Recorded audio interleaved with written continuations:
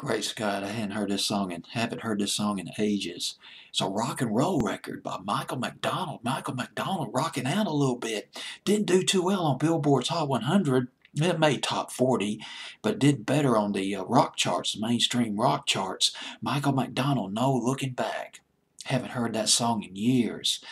It debuts at number 39 on my fantasy playlist of August the 10th, 1985. It's from his second solo album, Michael McDonald, lead singer of the Doobie Brothers from 1976 through 19, well, through the early 80s.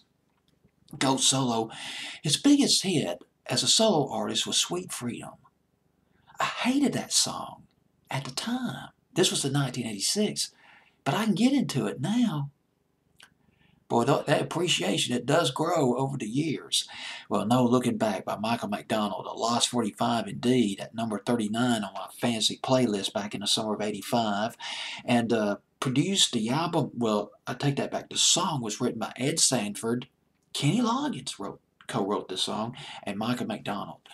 And, and the second solo album, by Michael McDonald. Joe Walsh played on this album. David Pack of Ambrosia played on this album.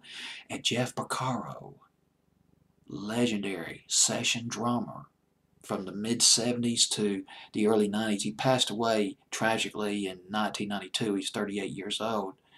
He plays on this record. Jeff Porcaro, drummer.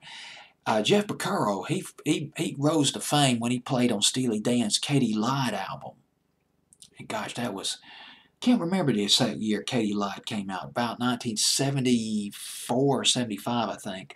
But anyway, on this record, we got Jeff Porcaro. He playing drums. He's playing drums on this album. David Pack playing the guitar on this record.